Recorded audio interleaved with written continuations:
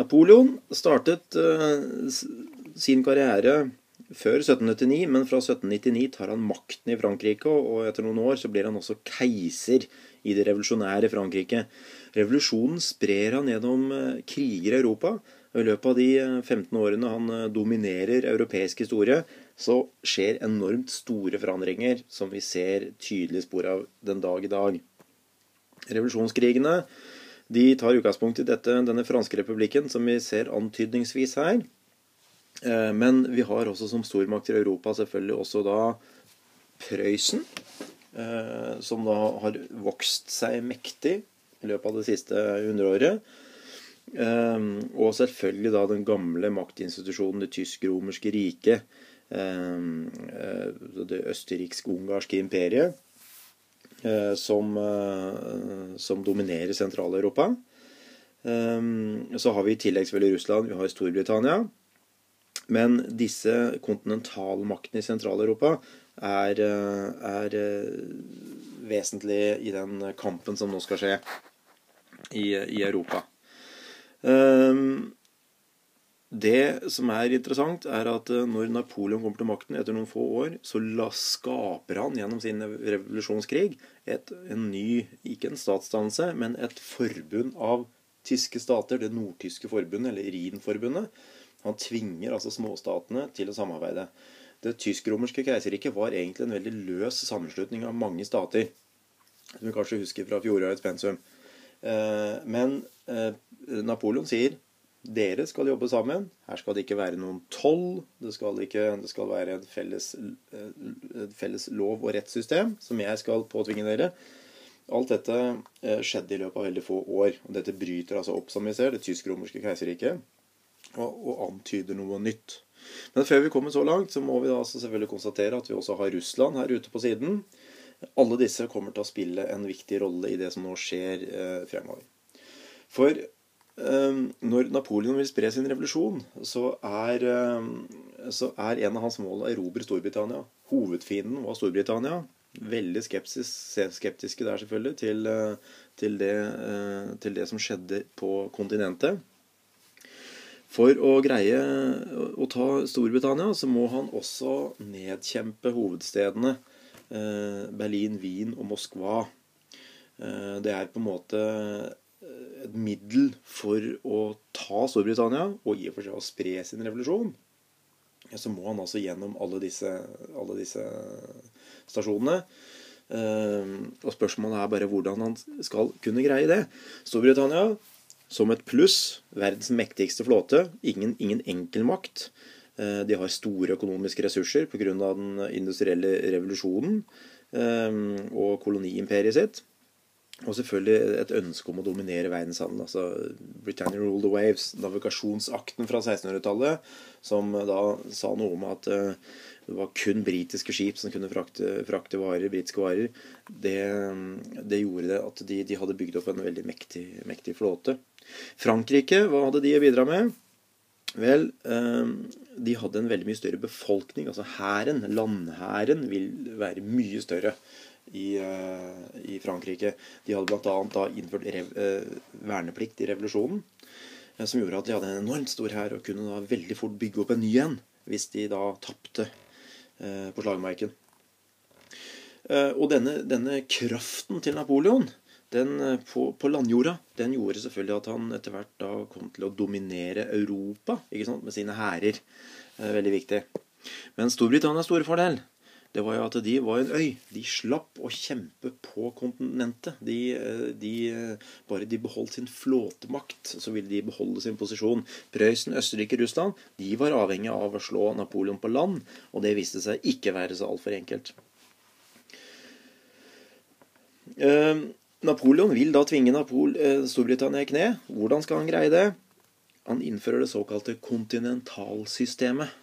Eh, som vi ser på den eh, streken som nå beveger seg langs, eh, langs vestkysten av Spania og Frankrike og oppover i retning Russland og Baltikum. Den viser altså at det var forbudt.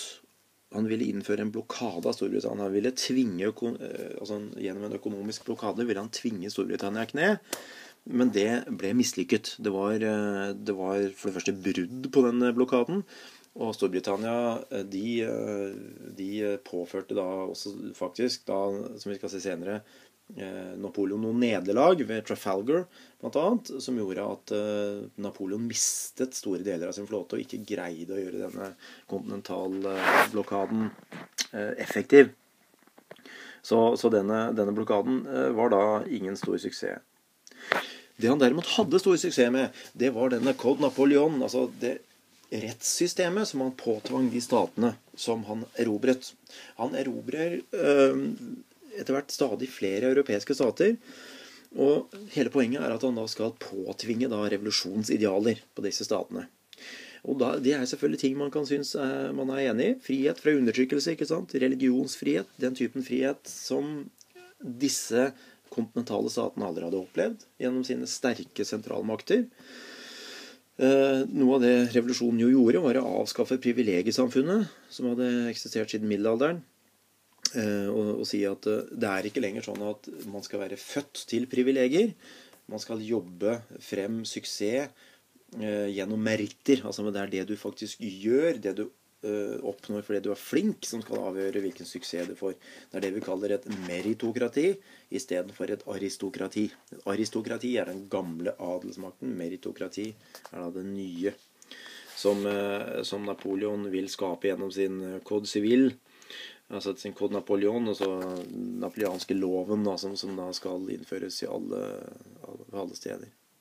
Hvis vi kjapt ser på eh, spøkoversikten igjen, så ser vi på hvilke sosiale endringer. Som sagt, eh, adel basert på meritokrati er eh, viktig.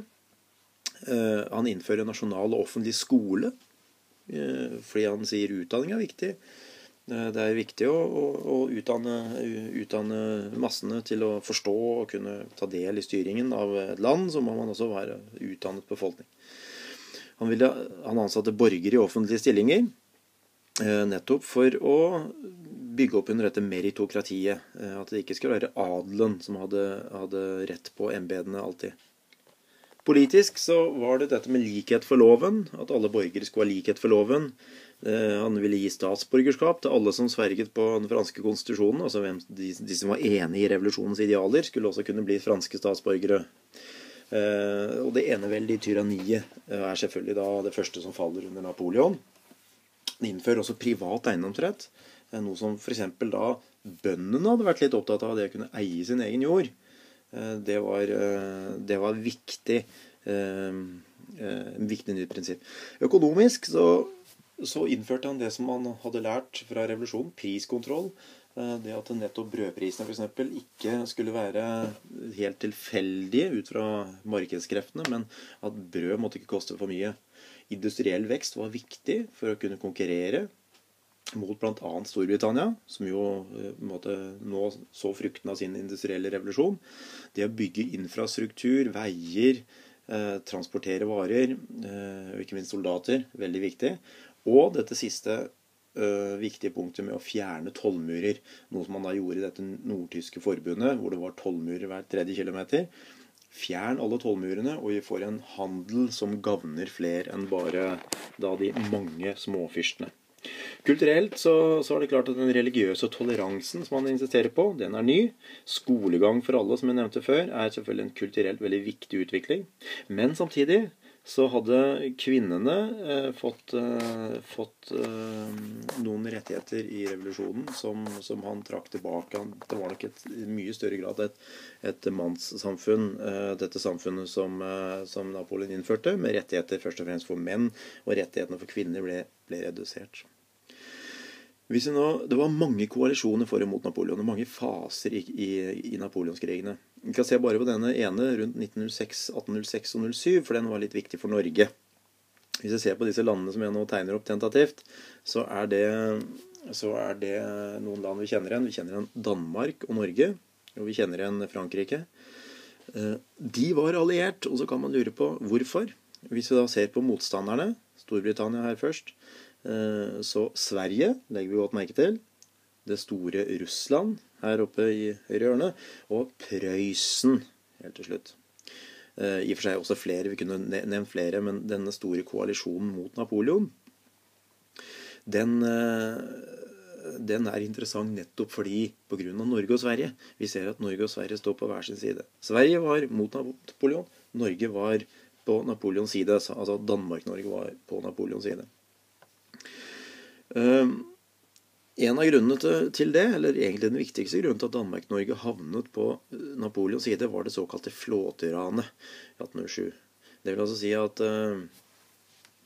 Storbritannia fordi de var nettopp var redd for at danskene, uh, Danmark-Norge, skulle bruke sin flåte til Napoleons fordel. Så tok de ikke så godt uh, og ranet hele flåten i Københavns havn. Eh, senket mange av skipene og tok resten si, til fange eh, fordi eh, Napoleon ikke skulle få bruke det. Det var på en måte en litt sånn, sånn som Danmark-Norge så det, en uprovosert fiendtlig handling fra Storbritannia. Og det gjorde at, eh, at Danmark-Norge gikk med på Napoleons side. Samtidig så valgte svenskene en konge som var tidligere fransk general, Bernadotte, og gikk mot Frankrike, altså i koalisjon. Det kommer til å få mye å si senere, når da Napoleon til slutt taper krigene, og man skal begynne å fordele godene. Så er det da Sverige som plutselig får lov til å velge et nytt land i Europa å dominere. Eh, det gikk dårlig for Norge i denne perioden, fordi eh, som straff eh, for, Napoleons, for støtten til Napoleon så innfører da britene blokade av da bl.a. Norge.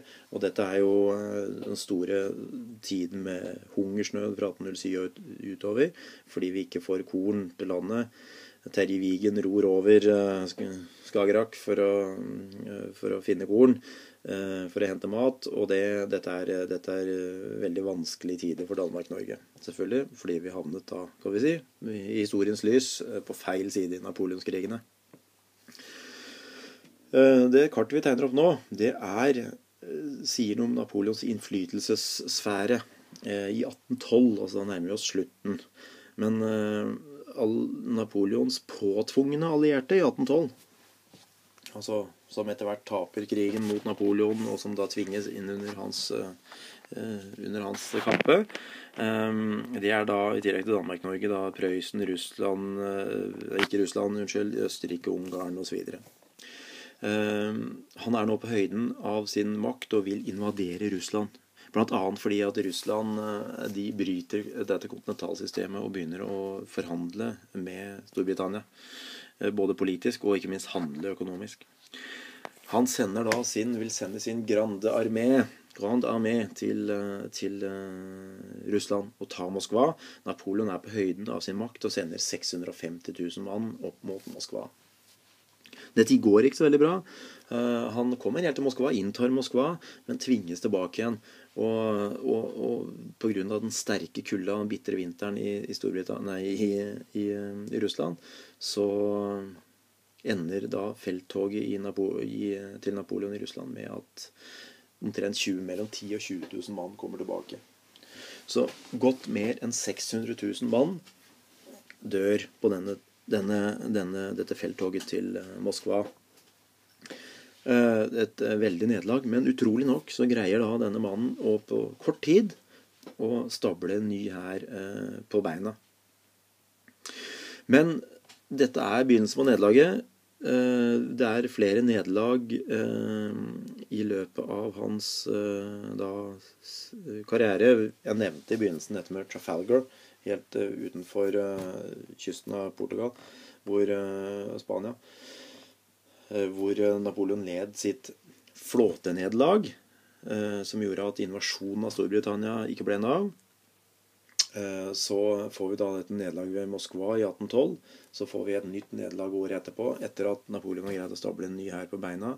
I 1813 ved Leipzig, den store folkeslakten Eh, hvor altså eh, eh, alliansen mot Napoleon da vinner et relativt avgjørende slag. Napoleon sendes i første omgang i eksil. fordi at koalisjonen inntar Paris. Napoleon måtte taper. Han kommer allikevel tilbake igjen etter et år. En utrolig comeback. og han, han greier å samle nye styrker. og vi taper da til slutt ved Waterloo i dagens Belgia. I 1815. Eh, da blir overmakten for stor, og det er da Det er da Wellington fra Storbritannia som gjerne forbindes med dette slaget, og ikke minst da den prøyssiske general Blücher, som vi jo kjenner mer som et slagskip i Oslofjorden, som da slår Napoleon her, og da, blir, da er det slutt på Napoleons kriger. Men altså konsekvensen for Europa er at han er med å samle Europas stater. Han peker tydelig på at eneveldets tid er forbi. For Norges del så blir det nå fredsforhandlinger som går dårlig for Danmark særlig da. Mister jo Norge fordi de støttet Napoleon. Sverige sier at da vil vi ha Norge, som takk for at vi hjalp til med å fjerne Napoleon. Så nå kommer da historien om 1814. Det er en grunn til at ting skjer i 1814 i Norge. Det er altså relatert til napoleonskrigene og det at vi var på feil side, som det heter. Litt avhengig av hvordan man ser det.